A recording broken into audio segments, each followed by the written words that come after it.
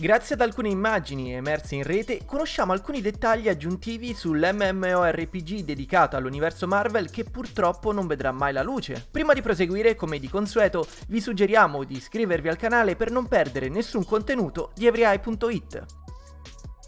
Definito come il più grande e più emozionante progetto attualmente in via di sviluppo nel portfolio di Enad Global 7, questo gioco ambientato nell'immaginario della Casa delle Idee è stato annunciato alla fine del 2021, salvo poi sparire per diversi mesi. Purtroppo, pochi giorni fa ne è stata comunicata la cancellazione, in occasione di un meeting dedicato alla presentazione dei risultati finanziari. Parliamo di una gestazione che avrebbe comportato l'investimento di ben 48 milioni di euro, una cifra questa che verrà ripartita in molteplici progetti di proporzioni minori. Tra i titoli che beneficeranno della riallocazione delle risorse sono stati citati The Lord of the Rings Online, DC Universe Online e alcune nuove IP.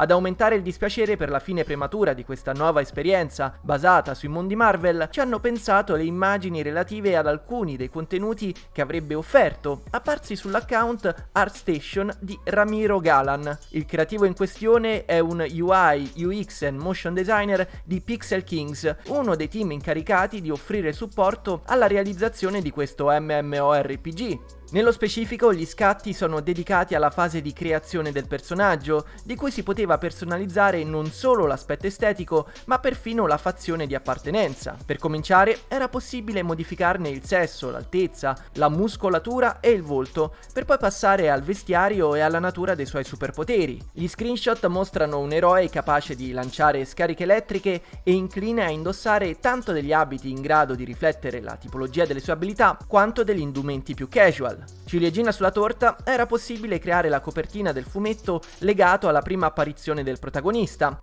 che poteva unirsi a gruppi supereroistici a dir poco iconici. Parliamo di X-Men, Avengers, Fantastici 4 e Shield. Tra l'altro, nel descrivere la sua visione creativa, Galan ha affermato di voler riprodurre lo stile e le tonalità di Spider-Man, un nuovo universo, il capolavoro d'animazione del 2018.